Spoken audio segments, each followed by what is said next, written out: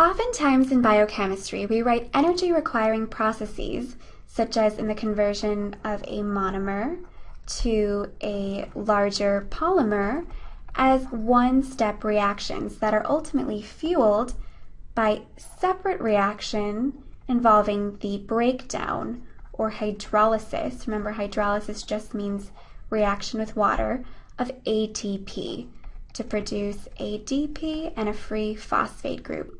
Now, when we write it this way, it implies that the breakdown of ATP is entirely separate from the biosynthesis reaction that it's fueling, when in fact, in the body, coupled reactions such as these often occur simultaneously.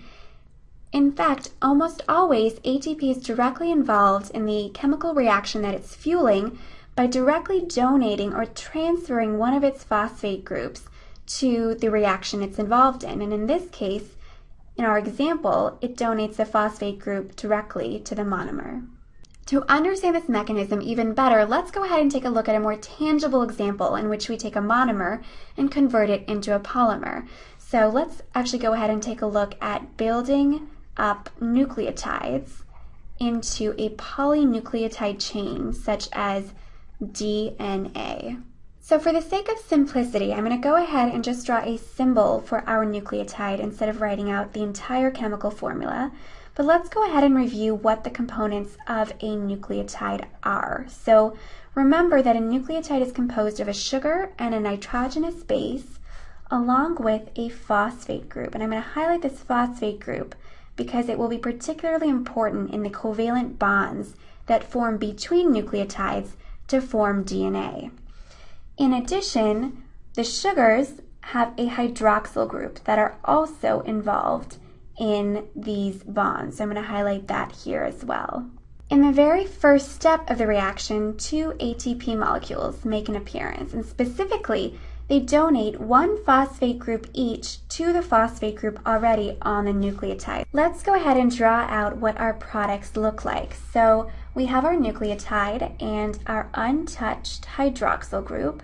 But now, instead of one phosphate group, we have a total of three phosphate groups that are covalently bonded to one another. And because ATP gave up its phosphate group, we are left with two molecules of ADP. Now, there's one point of confusion when we're talking about the breakdown of ATP into ADP. Many of us fall into this habit of saying that it's the breakdown of ATP into ADP that provides the energy for a reaction. But it turns out that this step of the reaction, in which we're essentially stacking up all these negatively charged phosphate groups that don't want to be next to each other, has a positive delta G value and cannot drive the reaction forward.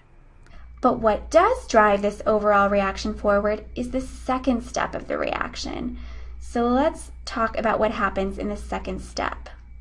In the second step of the reaction, in comes a growing polynucleotide chain. So I'm going to go ahead and just draw two of these nucleotides.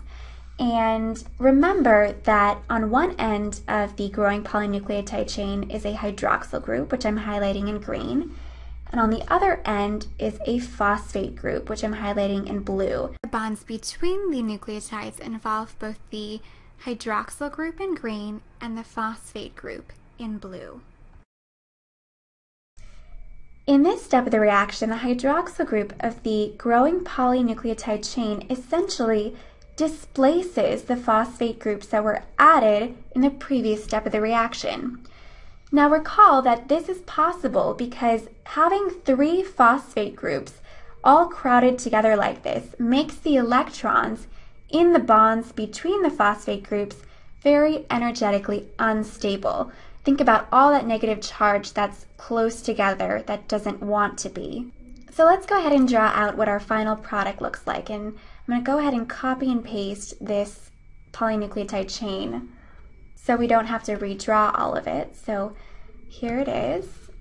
Go ahead and erase the parts that we don't need here. And now at the hydroxyl end, which is this green end right here, we have covalently bonded our new nucleotide. And so I'm just going to color code this by noting that the nucleotide with these stripes is the one that we're adding. And this covalent bond is between the hydroxyl group as well as the phosphate group, which I'm indicating here in blue.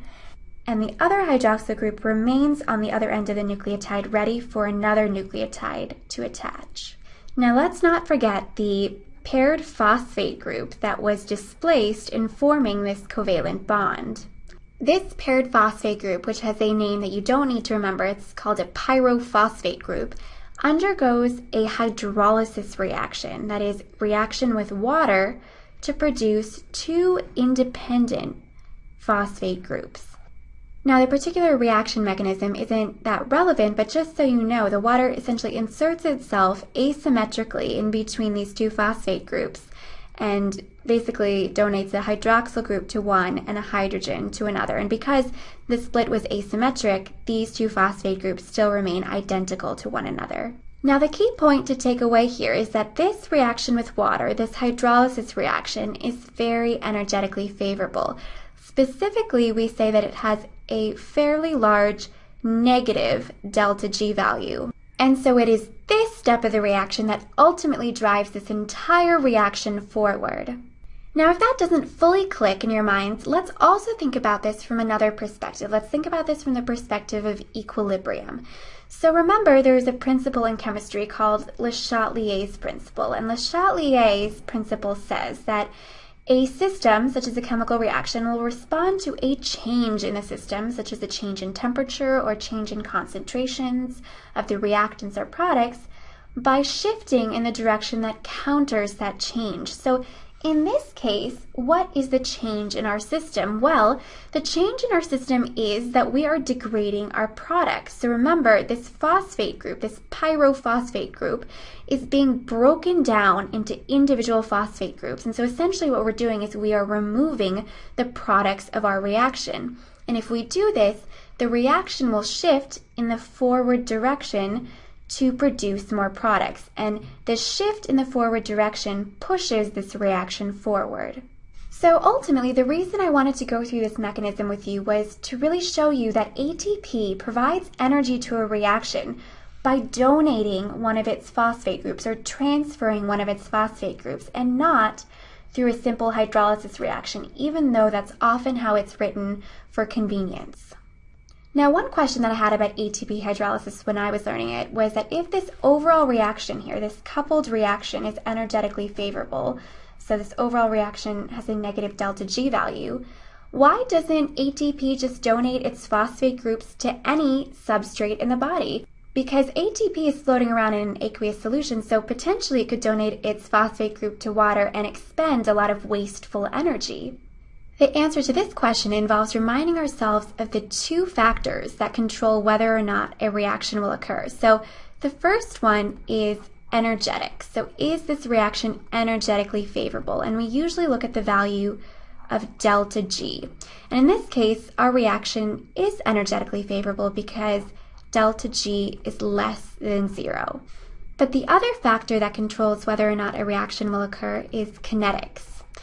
And we usually talk about a parameter called the activation energy, which I'm going to abbreviate here as E sub A. And it turns out in this example, ATP has a very high activation energy. And I'm just going to skim the surface of this topic since there are videos devoted just to this topic alone. But essentially, we say that this reaction is kinetically stable because it has a very high activation energy. And the way our body deals with this is that our body has enzymes that can lower the activation energy and allow the reaction to proceed when it should proceed. And so in our example, each step of the reaction has a specific enzyme that facilitates or catalyzes each step of the reaction.